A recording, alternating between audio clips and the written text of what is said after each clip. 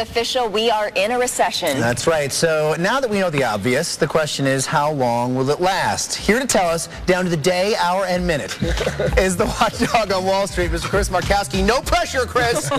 Help us out. I tell you, no, I tell you what you invest in. You know what you're gonna do? Andy and Mitch, you guys got to take your comedy tour public because that was one of the best times I've had in, in a long, long time. And I used to live right around the corner from the comedy strip in New York, so we used to go all the time. All these big acts, you guys blew them away. Blew them away. Everybody that I took absolutely loved you. guys were awesome. and Thank Andy didn't very even know you were there. And Okay, he, was, he was close to yeah, he, was, he was close to the first road there, and I didn't see it, and I had all these lines. I was ready to rip on you, you know, about how you told me to invest in Lehman Brothers just a few months ago, which is not true. Uh, all right, so so you know we hear a lot about this recession talk and uh, and, and and these comparisons uh, to the Great Depression and everything. Uh, are, are those valid? Those kind of uh, those kind of predictions? Well, I, yeah, let's use your example for your comedy tour. Packed to the rafters. I mean, are we in a depression where people going to comedy tours, packing it up? We got the big football games coming this weekend full.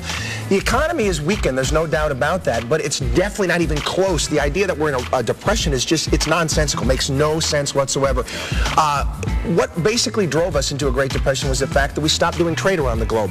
What they did was they put up a tariff act, which basically stopped everybody from doing business. We're not nearly in that ball of wax. We're not even close to it. It's over 25% unemployment during the Great Depression. Right. Not seeing it in. Yeah, 25%. You know, the, the, the GDP contracted 28%. Uh, the stock market, I believe, lost 95% of its value. You know, granted, we've seen a huge, uh, you know, crash, certainly, but nothing like back in the 30s. Recessions are healthy. Recessions are necessary. People are going to get this, they, they fear this recession monster. Why? It's a necessity. It's part of our economy because you know what? It gets rid of all the junk, all the garbage that we've built up. It's almost like a hangover. You drink too much, you're going to have too much of problems. So we, we did some really dumb things for a while, too much credit, uh, house prices uh, going up way too high. So we're dealing with the hangover stage. But when do you think that people are going to see things turn around? Because we're already a year into it. A lot of people feeling negative. A lot of people feeling the impact. So. Yeah. when are things going to, you know, That turn was around? actually that was the most positive news that I heard. You know how they decide? They have like this these high priests in Cambridge called the NBER, and they decide whether or not we're in a recession. And they came out and said, okay, we're 12 months into this thing. That's good because they usually the long ones have been 16 months post uh, World War II. So basically, we're, we're a long way through it. Um, right now, you know what I try to advise people to do if you're a small business owner, uh, you know you're trying to start a business, working company. If we're in a recession, try not to participate. Do what really successful companies have done in prior recessions or depressions. An example is Procter and Gamble. During the Great Depression, they were not the before that they were not the biggest company out there. Okay. Rather, rather than go and cut back, what they did was they expanded their marketing and then they became the standard bearer. Opportunities exist in recessions as well. so there Yeah. is hope. There Yeah, you go. absolutely. Good advice right there.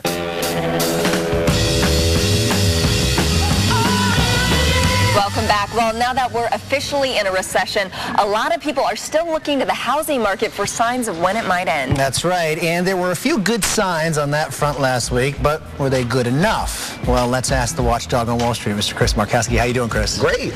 Alrighty, so uh, we, we had some good news a little bit. Uh, mortgage applications doubled last week. Yes. Why was that? Well, actually, the Fed came out last week and they made some adjustments to their, their bailout program when they uh, decided they're going to start getting into the more the commercial markets, credit cards, student loans, various different things, markets that were frozen up, and Right. that also helped uh, the mortgage market. And we saw a really, you know, rapid rise in applications for mortgages. A lot of them happen to be refinances.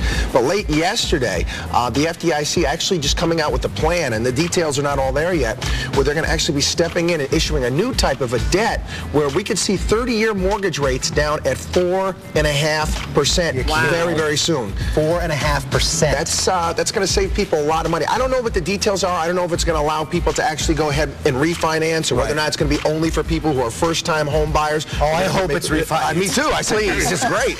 I mean, but there's a flip side to everything. We've seen prices come down.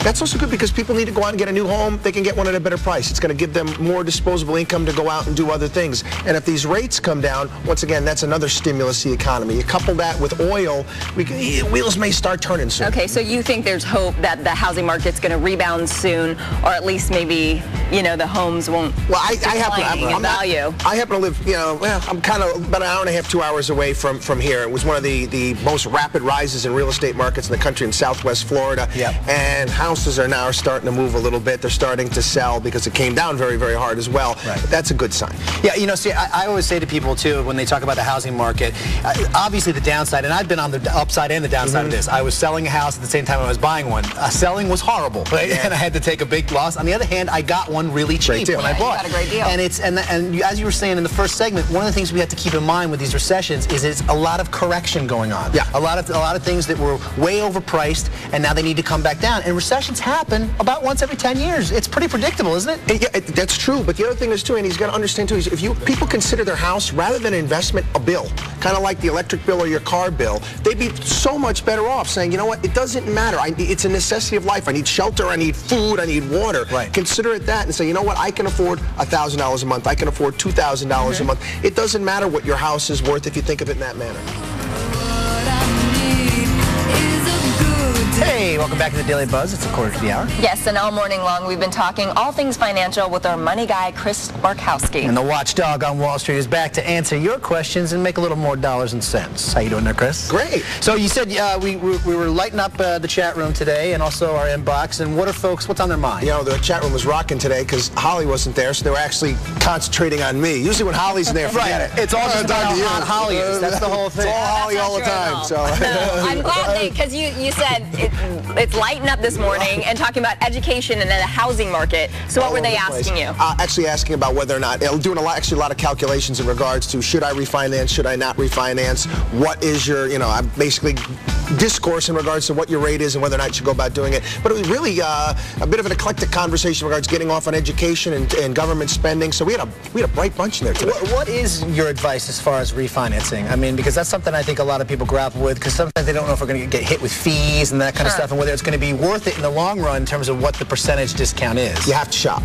You have to shop around. I mean, there's there's going to be different rates all over the place, and there's a lot of great tools uh, to go about doing that. There's you can go online, various different lending sources, but obviously you want to factor in how much you're going to be paying out because sometimes you get these 30-year fixed rates. You're going to pay a lot in closing costs, and it also depends also on where you live in the country. Some some states the closing costs are astronomical. You basically have to run the numbers and see whether or not it's going to be worthwhile for you. And do you think a lot of times people get in trouble because they don't do their research? Yeah, all the time. I mean, all the time. I mean, I was speaking to a couple of people today in the chat room. I couldn't believe the rates that they were paying, and they're asking me whether or not they should refinance. I'm like, please, yes, go do it. You're going to save yourself a fortune. Yeah. And all this money, that's that's extra money for you to go out and go on vacation, pay out on other credit card debts, and get yourself get your financial house in order. Yeah, if you're paying seven or eight percent, uh, and and you're going down down to like five or four point five, as you were saying, doesn't matter what the closing costs are, do it. Well, we actually we had one person that was in double digits. Oh, my Uh, gosh. So I was like, yes, yes, right away, now. No matter what, no matter what. Drop everything, do it this morning. And uh, real quick, too, uh, we're seeing uh, the numbers now in the recession that we've already been in for about 12 months. Uh, what do you think? Is it going to be about half the year, summer or so, that we see ourselves really climbing out of this? Yeah, if, if I can answer exactly when we're going to hit exact bottom, I wouldn't be here right now. You'd be a billionaire.